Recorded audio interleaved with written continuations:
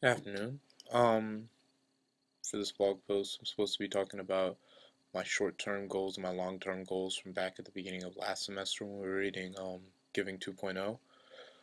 Uh, so I'll just go through those in order and how I feel I've lived with those and I'm going through those. So the first one of my short-term goals was really just to give 100% to the programs I was working with through FDDS, so Hope for the Holidays and Scholarship Progress.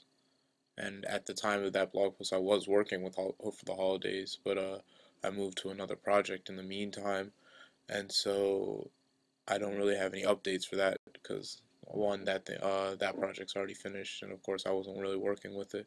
But I did put a lot of time into Scholarship Progress recently. Um, we're looking forward to getting through and getting students so we can uh, match up with our mentors. We've interviewed mentors. We feel like we've got a really good group, and I'm really looking forward to having a good time and working with them uh, for the rest of the semester. Um, those are my short-term goals, just to work with those progress. Long-term is still to help young people, young uh, young people. Um, especially in a medical uh, type deal, and I'm still attending conferences and lectures like I uh, said I was at the beginning of last semester. I'm still looking into stuff like that. I'm still really excited for these kinds of things. Um, I still feel like it is really important to make sure that kids know that they have the options to go to college and they have the option to become anything they really want to be. And so I guess how my goals have changed is I'm trying to find a long-term volunteer opportunity.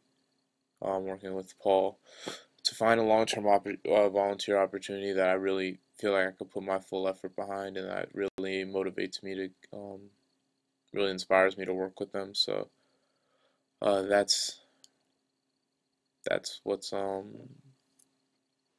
going on. So as far as I've exceeded or achieved my goals, well, I didn't really set goals that would um that can be exceeded and I don't feel like you've made strong goals if you can't exceed them. You should be um putting goals at 100% of what you can do with yourself. So uh I feel like I've achieved my goals so far with Scholarship Progress, but uh, seeing as I've done that, I've set new goals for myself. I want to be better. I want to move farther and the same with everything else. So, see you.